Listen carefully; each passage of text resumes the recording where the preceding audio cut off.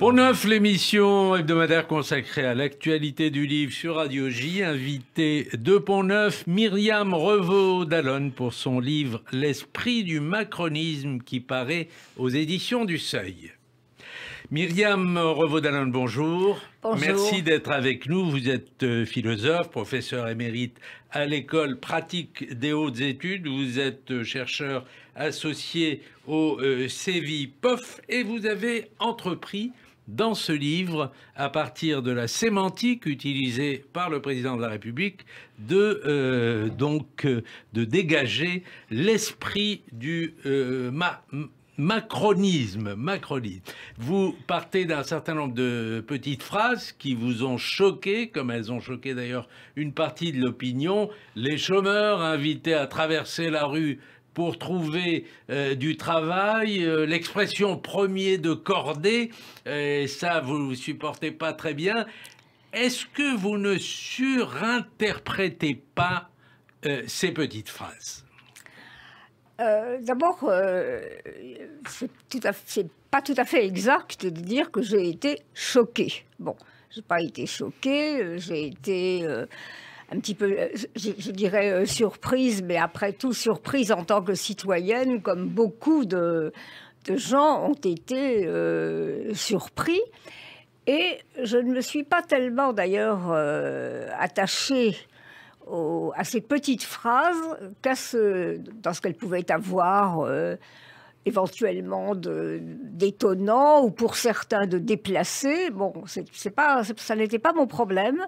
Mon problème, c'était de, de me demander, parce qu'il y avait quand même un certain nombre de petites phrases euh, qui euh, avaient entre elles une certaine cohérence. Bon.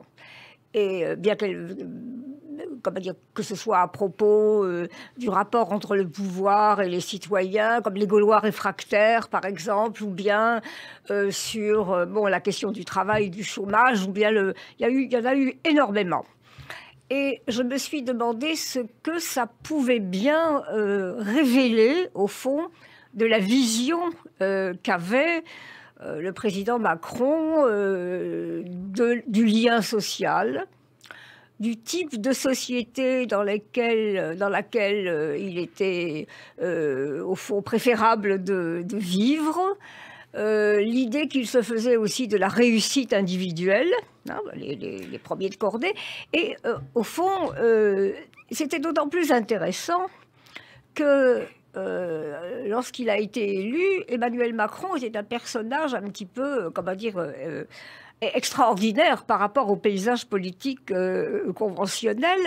Et ça fait deux ans, quand même, plus de deux ans, que tous les journalistes euh, politiques, tous les éditorialistes parlent du caractère insaisissable du, macronisme euh, qu'on n'arrive pas à, définir. On se demande s'il est libéral, s'il est, néolibéral, on se demande s'il est à gauche s'il est à droite, alors qu'en fait, euh, il s'est installé d'une certaine façon dans la position qui consiste à dire ni gauche ni droite, dépassons les clivages euh, traditionnels ou à la fois de droite et de gauche ou en même temps. Donc ce qui m'a beaucoup, ce qui m'a surtout intéressé, ce n'est pas l'analyse de ces petites phrases en tant que telles, c'est euh, au fond d'appréhender ce côté euh, insaisissable. Et c'est à ce moment-là que je me, demande, je me suis demandé ce que ces petites phrases pouvaient avoir euh, à faire avec euh, l'esprit du macronisme. Alors, on va parler du en même temps euh, sur lequel vous avez une analyse très intéressante, mais au fond, je vous entends et ce que vous lui reprochez au président de la République, c'est son individualisme, c'est le primat de l'individu qui transparaît à travers euh, ces petites phrases. À un moment, dites-vous, où le pays a besoin de, euh, euh, comment dire, de, de, de retrouver un monde commun. Est-ce que tout de même les différentes secousses, les gilets jaunes, la pandémie n'ont pas transformé le personnage? Parce qu'il y a tout de même quelque temps que euh, on on n'a plus de petites phrases. Euh, ça n'est pas mon problème de savoir si ça a transformé le personnage. Mon problème, c'est de savoir si ça peut infléchir une politique. Et ce n'est pas du tout, euh, comment dire, ce n'est pas la même chose. Encore une fois, euh, je ne me suis pas tellement intéressée à la personnalité d'Emmanuel Macron, mais à ce qu'il révélait d'une comment dire, au fond, d'une certaine vision de la société, d'une certaine vision du pouvoir. Alors, évidemment, évidemment, en avril, au printemps 2020, en avril 2020, le, type de discours extrêmement individualiste et, euh, euh, par exemple, sur l'état start-up a complètement cessé. Il y a eu euh, un premier discours très étonnant en avril 2020 où, au cœur de la pandémie, l'état-providence a été réhabilité. Le texte du, discours est très précis et où surtout Emmanuel Macron a dit il y a des biens communs qui échappent au marché. Bon alors que euh, tout ce qui avait été dit précédemment laissait entendre que toute la société, et l'État y compris, devait fonctionner sur le modèle du marché, de l'utilité, de l'efficacité, de la rentabilité. Et ça, et ça vous trouvez que... Eh, vous, vous, dites, d'ailleurs la nation start-up voilà. sont deux termes antinomiques. C'est totalement antinomique, parce que j'ai à un moment, je me suis référé au grand discours de Renan, d'Ernest Renan, Qu'est-ce qu'une nation? Euh, comment ah dire, qui, est une volonté de faire des choses ensemble. Une volonté de faire des choses ensemble. Bon, alors en avril 2020, euh, ce discours sur la nation start-up, il s'est effectivement euh, effacé et il y a eu plusieurs interventions euh, qui allaient dans le sens de cette transformation et notamment une intervention où on a, où Emmanuel Macron a, comment dire, au fond, a, a explicité le fait que les la reconnaissance, ou, pas, les privilèges, mais la reconnaissance des qualités individuelles euh, n'était rien sans euh, qu'il soit la volonté collective. C'est le discours euh, que vous citez du 12 mars 2020. Voilà, exactement. Et puis après, il y en a eu un autre où il dit la, la réussite individuelle n'est rien sans le rapport à l'utilité commune. Bon. Donc, euh, alors tout le monde s'est interrogé, moi aussi, moi la première, euh, tout le monde s'est interrogé sur euh, ce que ça pouvait bien signifier. Alors, est-ce, mais d'une certaine façon, nous sommes encore incapables de donner une réponse à ce sujet. Est-ce que c'est un discours qui est tenu, est-ce que ce changement tient aux modifications, aux transformations des circonstances? À la pandémie. C'est je, je, rappelle à un moment euh, la phrase de Saint-Just qui, à la tribune de la Convention en 1794, dit La force des choses nous a peut-être conduit là où nous ne voulions pas aller. Bon, c'est. Voilà, alors peut-être il est possible effectivement que l'irruption. Bah, il est possible que la pandémie ait remis les choses en place et que ça a restitué ce monde commun que vous appelez de vos voeux. C'est possible.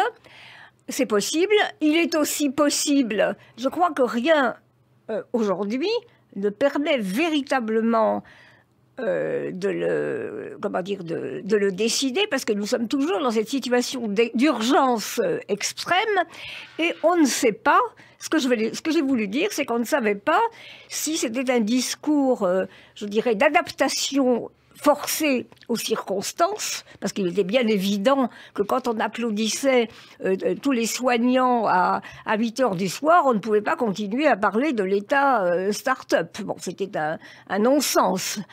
Et euh, le bouleversement était tel qu'il a fallu changer de discours. Maintenant, tout le problème est de savoir si, euh, une fois la pandémie surmontée sur le plan euh, sanitaire, est-ce que les dégâts qu'elle a engendrés vont entraîner un changement de cap absolument radical ou bien plutôt un retour au monde tel qu'il était? Parce qu'il y a quand même d'autres problèmes fondamentaux que la pandémie a, révélé, c'est-à-dire euh, comment dire, euh, les inégalités croissantes, les inégalités euh, au niveau du logement, la paupérisation, l'accroissement d'ailleurs des inégalités, l'inégalité, la, fracture numérique, on l'a vu avec les élèves et les, étudiants, la détresse de la condition étudiante, euh, que nous, universitaires, euh, nous connaissons depuis très très euh, longtemps. le, comment dire, l'enseignement, d'une certaine façon, à deux vitesses, les, classes préparatoires aux grandes écoles fonctionnant toujours à l'intérieur du lycée, mais ce sont des enseignants, ce sont des étudiants du, comment dire, du, supérieur. Donc tout, un tas de choses qu'il va falloir quand même prendre à bras le corps euh, une fois la crise strictement sanitaire surmontée. Et puis toutes les discussions aujourd'hui sur les vaccins, l'état de la recherche, l'articulation de la recherche universitaire, de la recherche scientifique avec le privé, enfin tout ça, ce sont des questions qui ne vont pas disparaître du jour au lendemain. Alors, est-ce que vous excluez la possibilité que, au lendemain de cette épidémie, on n'y est pas encore, mais au lendemain de la fin de cette épidémie, les choses reprennent euh, totalement comme avant, avec les mêmes... Euh, euh, exactement comme avant. Est-ce que est-ce que c'est possible à vos yeux? Ça dépend de quel point de vue on se place. du côté du pouvoir, on pourrait avoir la tentation de revenir au fonctionnement euh, bon, la pression de la nécessité économique étant telle qu'on peut essayer d'en revenir, euh, comment dire, au fond, au fonctionnement qui avait été... Parce que, si vous voulez, le macronisme, c'est aussi une vision du monde. C'est ça qui est important, une vision du monde, une vision de l'individu, de ses rapports avec... Et donc c'est très compliqué, euh, une vision du monde qui est tellement globale et tellement enracinée, qu'il faut quand même beaucoup de choses pour la, pour la déstabiliser. Mais d'un autre côté, euh, je pense que les, citoyens, les individus, ont été tellement et sont encore tellement bouleversés et tellement, comment dire, ils ont été ébranlés jusqu'au plus profond euh, d'eux-mêmes. Et j'ai aussi l'espoir que de ce côté-là, il y a une prise de conscience euh, du fait que la société n'engage pas simplement des rapports d'utilité il y a, d'ailleurs une réflexion très intéressante euh, où on retrouve la philosophe sur le confinement. En même temps, euh, se confiner, c'est s'isoler, euh, mais aussi il y a l'idée que confiner, c'est se rapprocher, comme dans au confins, de. Alors, c'est un. Il y a un bon usage finalement du confinement? C'est-à-dire, il y a un double. Alors, euh, bon, euh, évidemment, tout le monde l'a vécu, euh, nous l'avons tous vécu comme un enfermement, comme une privation des rapports sociaux, ce qui est tout à fait vrai de, la, de ce que j'appelle la chair du social. Et en même temps, quand on regarde l'étymologie, dans confins, il y a finis, qui veut dire la frontière. Donc, à la frontière de, à la limite de, aux confins. Et là, j'ai été assez comment dire, euh, frappé par l'espèce de, double jeu euh, du fait, euh, le fait que la, distanciation physique nous permettait en même temps de saisir paradoxalement combien nous n'étions rien sans le lien social. C'est-à-dire, nous, nous étions dans une situation de confinement qui était en même temps comme une expérience limite aux confins de quelque chose. C'est-à-dire qu'on en souffre, quoi. On se, on, se complaît pas dans ce confinement. Alors, on, en souffre, c'est peut-être là, ça a été pour beaucoup de gens une prise de conscience que l'individu n'était rien sans euh, au fond, le lien, sans l'altérité, sans le lien qui le rattache à autrui. Et les, les, zooms et les échanges virtuels, que ce soit au niveau de la famille ou du travail, n'ont fait que confirmer. Euh, euh, cette, euh, ce manque. Alors, vous citez souvent euh, Ricoeur, dont chacun sait que vous avez été extrêmement proche. Et, euh, mais enfin, dont on sait aussi qu'il a été, qu'il, qu'il, a été, euh, euh, enfin, qu'il a travaillé avec Macron, avec Emmanuel Macron, qui a travaillé, qui a avec, travaillé lui. avec lui. Pour sur son dernier livre sur récit histoire, il a fait les notes, il a relu, il a donné son. Alors, vous ne créditez pas le président philosophe, comme vous dites, d'une imprégnation ou d'une inspiration de ce côté-là? Écoutez, il y, a plusieurs manières d'envisager les choses. Euh, que Macron ait beaucoup aimé Ricoeur, qu'il en a été proche, qu'il a été. D'ailleurs, il a dit lui-même qu'il avait été fasciné euh, par euh, la grandeur du personnage. Bon, et puis en même temps, son côté extrêmement chaleureux. Ricoeur adorait les étudiants, les élèves. Bon, donc. mais effectivement,